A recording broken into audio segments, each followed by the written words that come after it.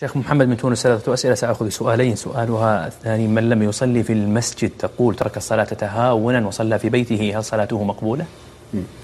بالنسبة للصلاة في في الجماعة نقول قد اختلف العلماء في الصلاة في الجماعة. على أقوال ثلاثة؟ والكلام فيها يطول وقد تكلمنا عليها مرارا لكن نقول إن المترجح في ظواهر الأدلة أن صلاة الجماعة واجبة ويجب على الإنسان أن يأتيها ما سمع النداء وكان وكان مستطيعا.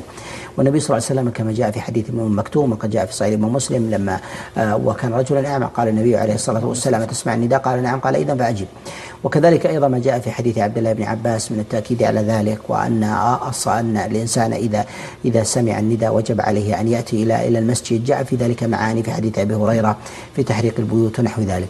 لكن لو أن إنسانا صلى متعمدا وهو يسمع النداء ولم يأتي المسجد هل صلاته صحيحة؟ نقول صلاته صحيحة مع الإثم.